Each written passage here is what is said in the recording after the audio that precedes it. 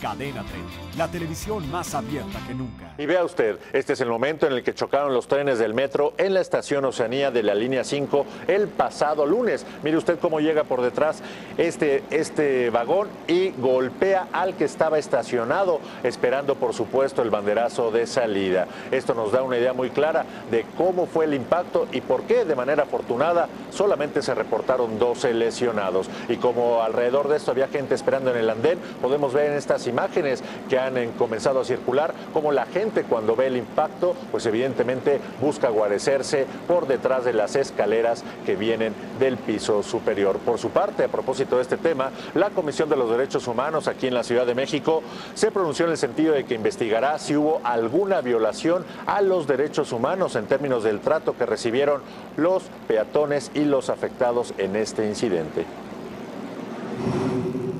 Y sobre este mismo tema, el Comité para la Investigación de Incidentes Relevantes del Metro presentará en breve su informe sobre las causas del accidente del pasado 2 de mayo.